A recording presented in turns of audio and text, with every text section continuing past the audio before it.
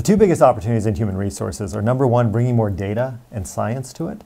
Because for too many years, HR has been characterized by what's my gut tell me, what's my experience tell me. But there's a lot that we can learn from behavioral science and behavioral economics to make work better. The second is remembering to put a little love into the practice.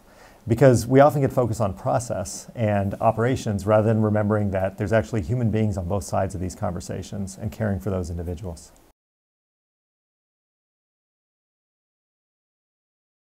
One of the things I observed in my old job running people at Google was that training doesn't always work, talking to people doesn't always work. There's a lot of things that make it hard to get human beings to change their behavior in a way that both makes them happier and serves the organization better.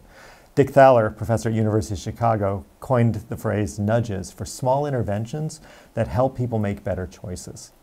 At our own company now, Humu, what we focus on is using these tiny, tiny interventions, the smallest we can possibly make, to make people happier and more productive and more innovative and more inclusive. What we find is the smallest intervention often has the biggest result if you know what intervention to send to what person at exactly the right time.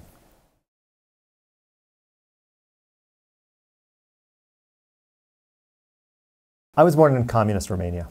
I came to the US as a refugee. But in Romania, the government supervised everything, and to the extent where children were asked to spy on their parents, students in school were asked to spy on their classmates and their teachers. So I come from a place where the government saw and knew everything, and every company recorded every single thing about everything about their employees. That's super creepy, and it's wrong.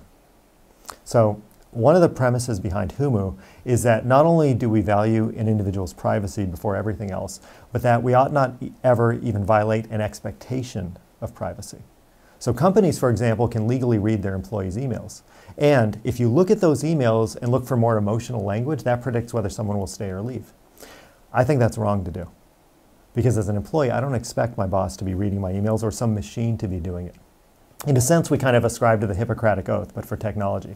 First, do no harm.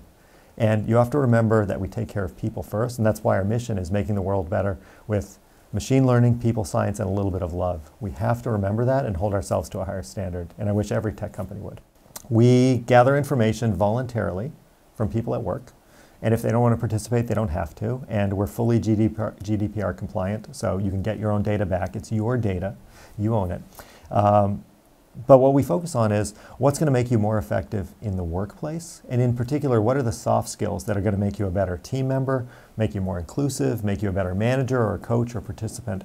And all those things have to do with how you're feeling about yourself, how the people around you are treating you, and how you perceive really whether your employee cares about you as a human being or just another gear in the machine.